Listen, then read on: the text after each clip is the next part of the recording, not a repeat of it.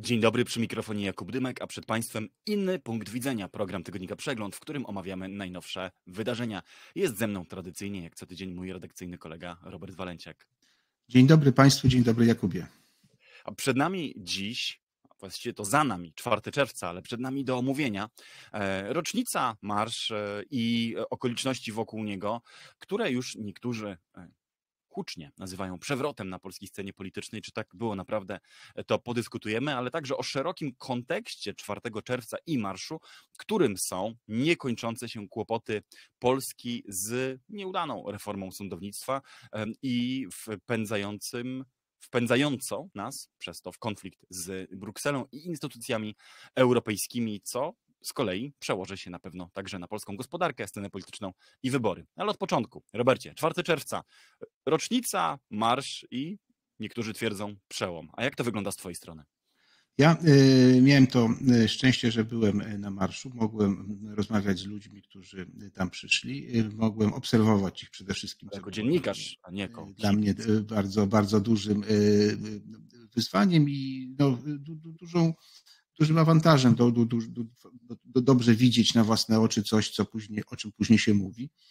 No i mam e, takie, e, po pierwsze, e, może nie, nie, nie, nie, może pierwsze skojarzenie, takie najbardziej istotne i chyba warto o nim pamiętać. To, to nie był marsz na pewno partyjny. To absolutnie tego to, to, to, to odłóżmy na bok.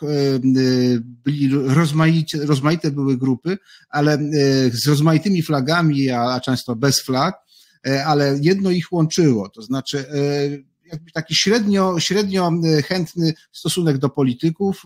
Oni raczej ich łączyła taka niechęć na to, co robi, robią rządzący, jak postępują.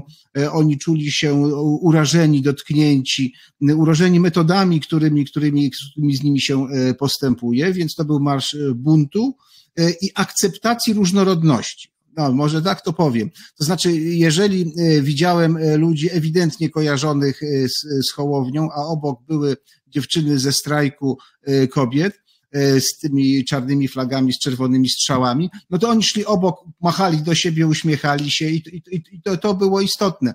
Nawet do policjantów się uśmiechano, którzy stali w niewielkich grupkach gdzieś obok i byli potrzebni.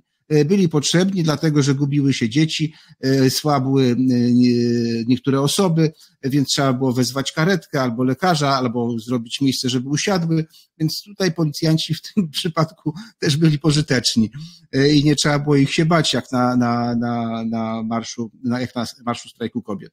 Więc tak, to, to jest, to, jest istotna ta atmosfera.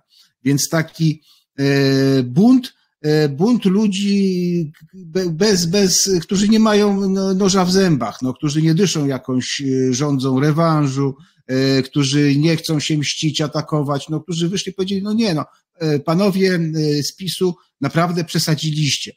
I oczywiście nie było tam bluzk, jak to pokazywała to później telewizja państwowa, tylko był raczej taki dowcip, no taki, takie po, po, podśmiewanie się z, tej, z tego nadętego PiSu, bo to jest y, partia ludzi nadętych. E, więc y, to, ta, tak to było. To jest takie moje skojarzenie obserwatora, który, który, który szedł i przyglądał się tym, tym ludziom i którego zresztą zaczepiali, bo pytali mnie, co sądzę i czy, czy już jest ten przewrót, o którym wspomniałeś na początku, czy, czy jeszcze nie.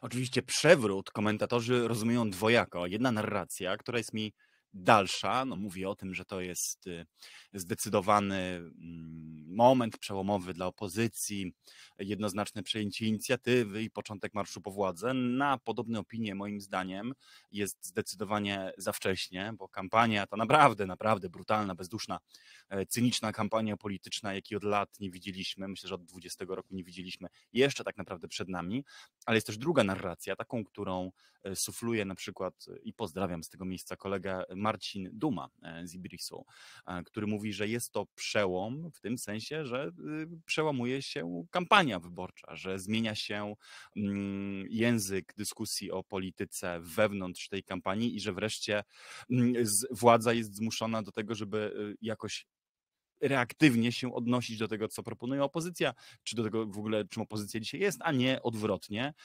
No i wreszcie zamyka się, czy domyka się jakiś taki projekt pod tytułem Polaryzacja Max, powrót Tuska E, sukces. No, przez te ponad już chyba dwa lata od e, powrotu Donalda Tuska na polityczną scenę przecież można było usłyszeć nierzadko i całkiem zasadnie każdą możliwą opinię, że się zużył, że jest niepotrzebny, albo przeciwnie, że przy zwycięstwo, że jest konieczny.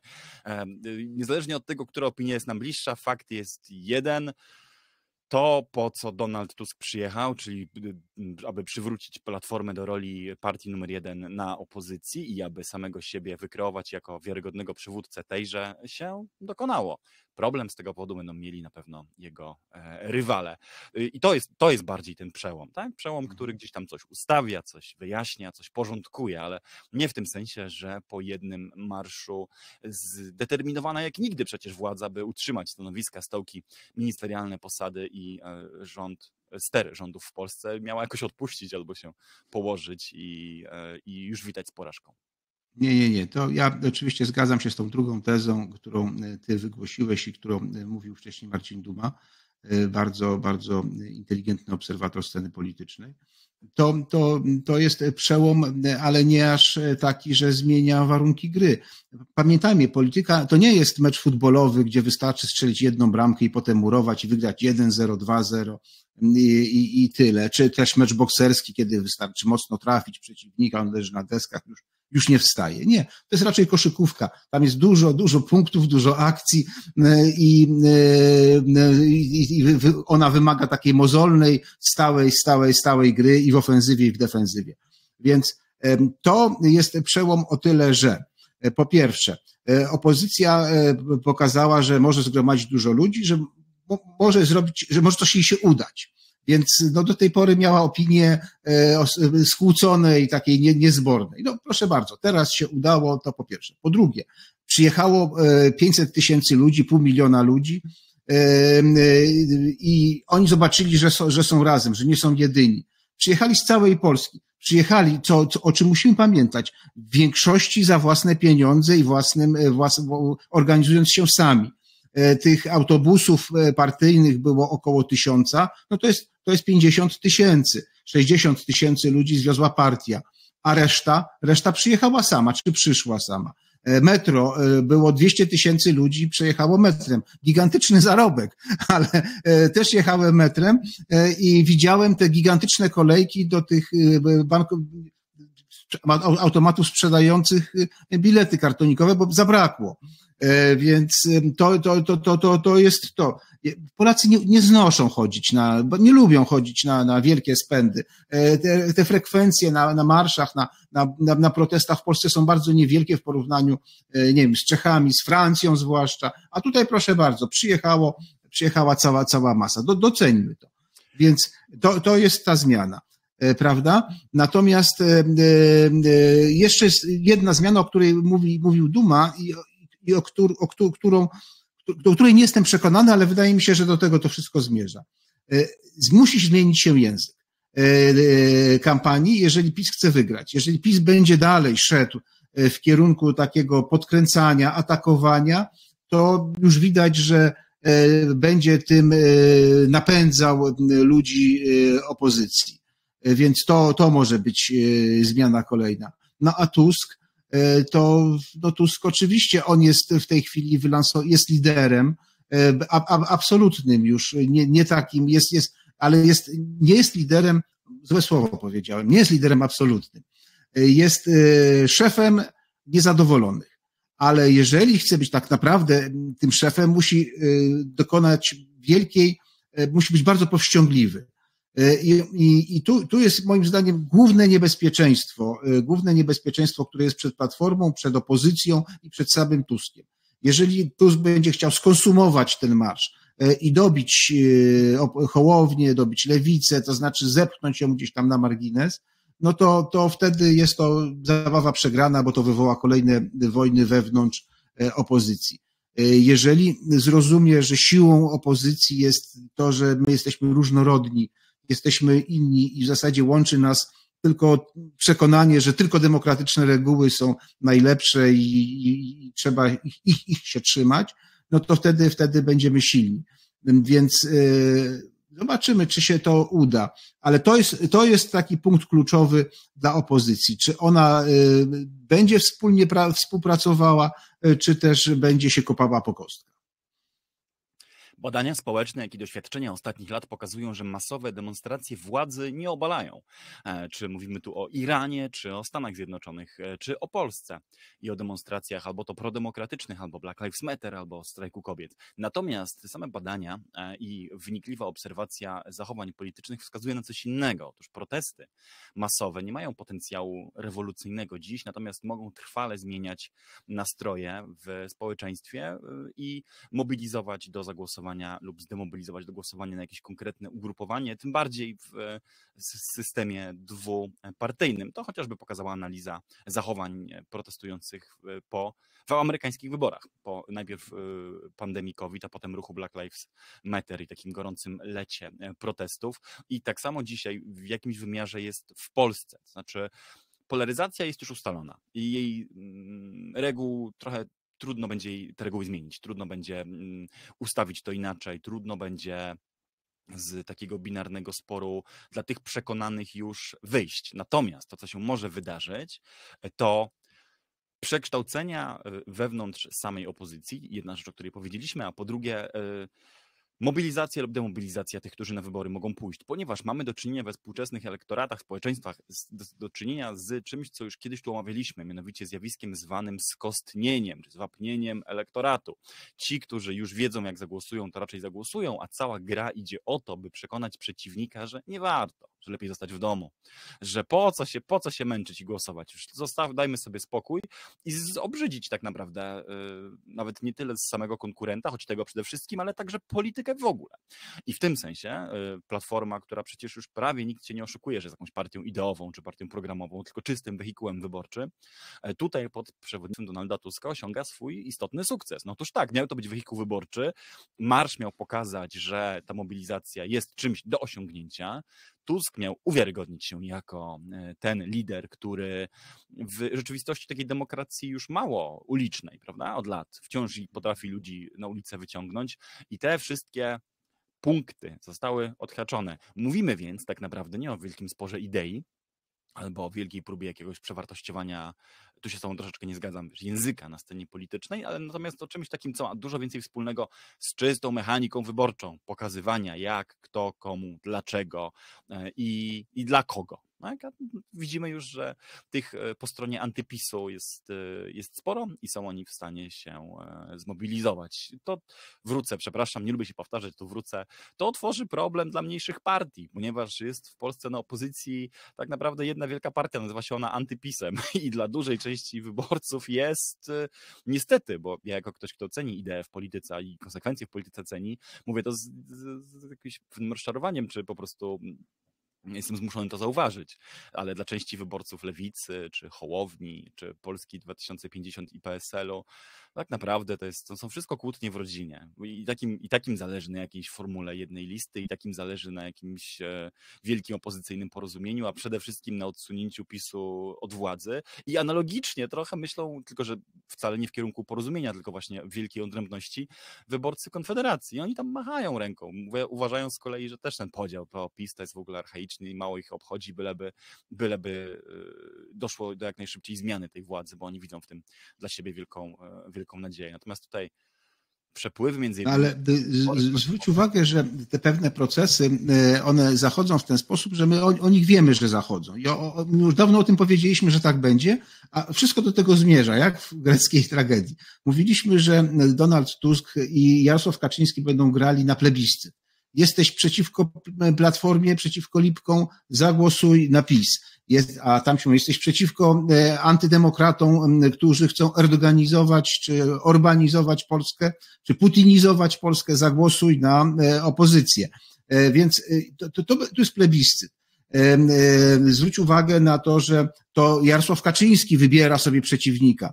To, to, to, to oni wybrali sobie Tuska I, i oni grają na to Tuska, żeby Tusk był liderem. Tusk moim zdaniem bardzo sprawnie ucieka z takiego obrazu lidera autorytarnego, no ale zobaczymy, czy to mu się uda. E, ma przecież sporo e, za uszami, więc tu musi też się, tu, tu, tu musi też się bardzo, bardzo zmienić, musi być liderem demokratycznym, takim no, demokratycznym wobec tych swoich współpracowników i sojuszników. E, bardzo, to jest wielka, wielka odpowiedzialność. Być może też zobaczymy w przyszłości, zobaczymy, jak to się wszystko rozwinie. On, on ma swoją drugą kartę, jest, jest Trzaskowski, są, są inni, więc on, oni może wyjdą w przyszłości do, do przodu tego, tego nie wiem. I w PiSie podobnie. No i jest ta konfederacja, o której mówiliśmy przecież, prawda, y, już wiele tygodni temu, że oni jako partia protestu, jako partia antyestablishmentowa, znaczy grupa antyestablishmentowa też ma szansę zgarnąć te, e, te głosy, które wcześniej zgarniał Petru, e, wcześniej zgarniał e, Hołownia ostatnio brał antyestablishmentowy elektorat, brał antyestablishmentowy elektorat Palikot, no, e, więc teraz, teraz przyszła pole, kolejna konfederacja. Ona, to, to, to jest wiele, wiele grupek, e, które, grupek e, skrajnych liberałów, Korwina Mikke, narodowców, no i ta grupa antyestablishmentowa, która do tego do, do, doskakuje. I proszę bardzo, rok temu była to partia ruskich onucy, a teraz mamy antyestablishment, partia, która popisowi mówi nie, najsilniejsza. No, tak to wychodzi. Wszystko, wszystko prawda. Ja się nie będę powtarzał, bo to są wątki, które, jak zauważyłeś, omawialiśmy tutaj. Ja też omawiałem je w kilku innych miejscach i w podcaście Dwie Lewe Ręce i goszcząc u Marcina Dumy na forum Ibris. I niedługo będę jeszcze się powtarzał po raz trzeci, bo dostałem zaproszenie od środowiska Nowej Konfederacji do debaty na temat tego fenomenu, więc naprawdę tutaj już oszczędzę otwierania tych samych dyskusji po raz, po raz wtóry. Powiem tyle. W jakimś sensie obowiązuje dalej teza o tym, że polaryzacja w Polsce, czy główna oś sporu tej kampanii dotyczy spraw materialnych, a nie duchowych. To się może wydawać w kontekście marszu 4 czerwca kontrintuicyjne, ale pozwólcie Państwo, szybko wytłumaczę. Otóż co zmobilizowało też masę ludzi, jak sądzę, do pójścia na marsz. Dwie rzeczy, które y, go poprzedziły, to znaczy mm, komis powołanie komisji do spraw zbadania wpływów rosyjskich i negatywna reakcja y, zarówno Brukseli, jak i Stanów Zjednoczonych na tę komisję. Dlaczego to było ważne i dlaczego uważam, że to wbrew pozorom dotyczy spraw materialnych? Otóż dlatego, że dzisiaj sądownictwo czy praworządność, jako takie czysto abstrakcyjne kategorie w Polsce y, nie są rozstrzygającą już kwestią w polityce i retoryce politycznej, natomiast to, co z nimi powiązane, czyli fakt, czy Polska będzie otrzymywać dalej środki z Brukseli, czy to się odbija na naszych portfelach, czy będziemy marginalizowani przez to gospodarczo e, i popsujemy sobie jakieś relacje zewnętrzne, jest z kolei ważniejsze. Znaczy nie jest to może tak aż tak wprost wyrażane, ale jest ważniejsze. I zauważmy, że teraz, w sytuacji, w której znowu słyszymy o, o tym, że przez Komisję e, do Spraw Badania Wpływów Rosyjskich nie wpłynie do polskich KPO, tak? że już właściwie część stolicy europejskich już stawia ten krzyżyk. Znaczy Bruksela, więcej głosów w Brukseli już stwierdza w ogóle, że to jest zamknięty temat do wyborów, tak? że nie będzie tego KPO dla Polski. Stany Zjednoczone grożą jakimiś konsekwencjami za, za podobne ruchy, no to znowu odpala lampkę, że zaraz, zaraz, no to, to niedobrze. Tak? Potem, e, choć to już było po marszu, ale po tym, po marszu 4 czerwca dowiadujemy się, że Polska e, utraci olbrzymie kwoty z europejskich środków wynikające z kar zasądzonych za łamanie praworządności, to idące kwoty w miliardy złotych. Cały czas płacimy środki zapobiegawcze czy zasądzone odszkodowania za spory sądowe, które toczymy z Brukselą w poszczególnych sprawach. W tym sensie praworządność łączy się z tym, co będzie tutaj dla tych wyborów kluczowe, czyli obawą o to, że okej, okay, jest ciężko i wszystkie nasze wysiłki powinny być skupione na tym, żeby nie było gorzej. Nie ma tragedii, bo to jest istotne, nie ma tragedii, nie ma kompletnej flauty, nie ma e, e, załamania i kolejek do bankomatów. Natomiast tym bardziej powoduje, że wszyscy są w takim nastroju troszeczkę powiedziałbym egoistyczno-merkantylnym. Nie chcą, żeby cokolwiek się pogorszyło, żeby cokolwiek do tej mapy pełnej niepewności jeszcze się dokładało. No i to jest ostatni moment, w którym, jak sądzę, ktokolwiek czeka na podobne wieści, że KPO się opóźni, że to być może pogorszy perspektywę rozwoju, że Amerykanie się od nas odwrócą, że będziemy dalej w tych bezsensownych, kosztownych sporach z Brukselą i tak dalej, i tak dalej. Wyborców, ostatnie zdanie, widzę, że chcesz się włączyć, wyborców Prawa i Sprawiedliwości, tę część Polski, która z Prawem i Sprawiedliwością bardziej sympatyzuje, to jakoś może wielce nie rusza, natomiast y, było, nie było, jest y, dalej portfel tematem najważniejszym dla, dla wszystkich e, i pewnie nawet i ci, którzy jakoś tam PiS lubią, też nie chcieliby słuchać dzisiaj o tym, że Polska dalej traci pieniądze i dalej jest na cenzurowanym. Ja wiesz, dołożyłbym do tego jednak spostrzeżenia trochę inne. Rozmawiałem z ludźmi na, podczas marszu i jedna rzecz uderzyła, uderzyła mnie. To znaczy, ty, ty, też wiele, wiele mówisz o godności i że siłą PiSu było to, że stanął w obronie godności ludzi dotychczas poniewieranych, przez, zwłaszcza przez trzecią Rzeczpospolitą. Więc ci uczestnicy marszu, oni też o czymś takim mówili. To znaczy, że ich godność została naruszona poprzez to, co mówi PiS i to, jak PiS się zachowuje.